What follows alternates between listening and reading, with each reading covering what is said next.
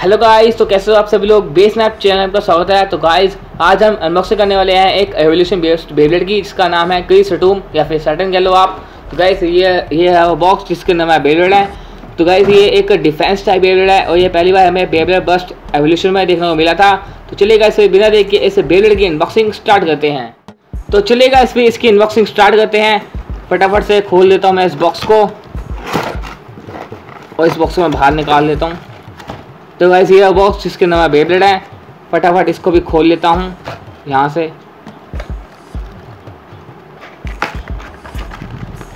तो गाइस ये रहा सामान। तो गाइस ये रहा बेसिक लॉन्चर जो इस बॉक्स में आया है। और ये गाइस रिपकॉर्ड बिल्कुल छोटी सी। और गाइस मेन चीज़ इस पैकेट के अंदर मेरा बेबलेट है, फटाफट इसको भी खोल लेता हूँ।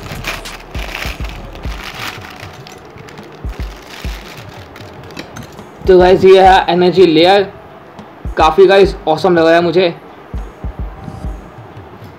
और ये है डिस्क इसका ये प्ला, प्लास्टिक पार्ट भी है इसके साथ. और गाइस ये परफॉर्मेंस टिप ये भी गाइस काफ़ी अमेजिंग है.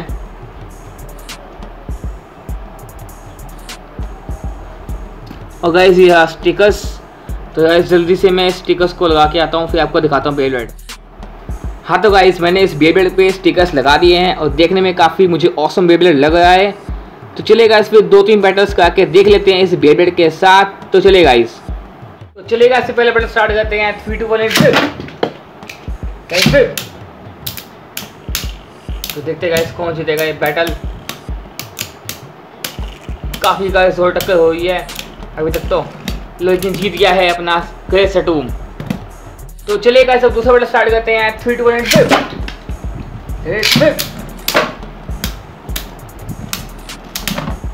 क्या गाइस इसके गाइस हरा पाएगा इसके लिए गाइस है ने। बस्ट फिनिश कर दिया इस को। तो गाइस कैसे लगा आज की वीडियो कमेंट के सुविधेगा मिलते अगले एपिसोड में। तब तक के लिए बाय बाय